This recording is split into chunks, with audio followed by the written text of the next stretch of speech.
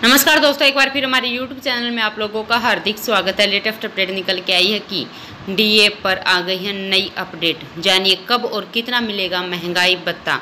तो दोस्तों, हम आपको सब डिटेल में बताएँगे। अगर आप हमारे चैनल पर फ़र्स्ट टाइम विज़िट कर रहे हैं तो चैनल को लाइक कर दीजिए, सब्सक्राइब कर दीजिए, साथ ही साथ वाला आइकन को भी बचा दीजिए, ताकि गवर्नमेंट या पेंशन से संबंधित जितनी भी न्यूज़ आती है, उनकी नोटिफिकेशन आप लोगों के पास तुरंत पहुँच के। तो करते हैं वीडियो को स्टार्ट बिना किसी देरी की। दोस्तों, केंद्रीय कर्मचारियों के लिए वो पल आ ही गया है जिसका उन्हें इंतज़ार था। कर्मचारी की सैलरी में चालीस हज़ार रुपये तक की बढ़ोतरी होने वाली है।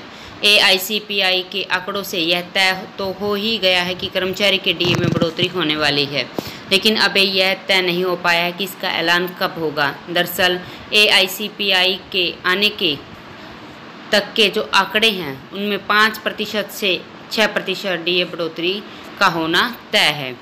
उम्मीद की जा रही है कि तीन अगस्त को होने वाली कैबिनेट की बैठक में सरकार इसका ऐलान कर सकती है, लेकिन इस बैठक में इसके अलावा भी कर्मचारी की सैलरी को लेकर नई अपडेट आई है कि इस बैठक में फिटमेंट फैक्टर बढ़ने की संभावना भी जताई गई है।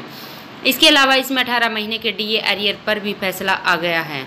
दोस्तों, साल 2021 में 14 जुलाई को हुई कैबिनेट बैठक में सातवें वेतन आयोग के तहत महँगाई भत्ते को एक साथ ग्यारह प्रतिशत बढ़ाया गया था, जिसे एक जुलाई 2021 से लागू किया गया।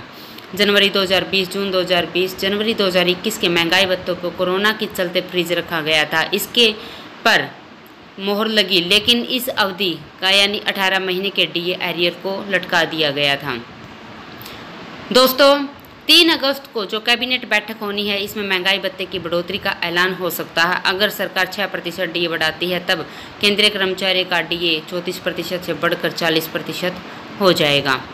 दोस्तों, अधिकतम बेसिक सैलरी वाले कर्मचारियों को सबसे ज़्यादा फ़ायदा होगा, जिन्हें चालीस हज़ार नौ सौ अड़सठ रुपये सालाना का इजाफा होगा। और न्यूनतम बेसिक सैलरी, जिनकी अठारह हज़ार रुपये है, उन्हें बारह हज़ार नौ सौ साठ रुपये का सालाना इजाफा होगा। तो दोस्तों, आज के लिए इतना ही। मिलते नेक्स्ट वीडियो में। तब तक के लिए जय हिंद, जय भारत।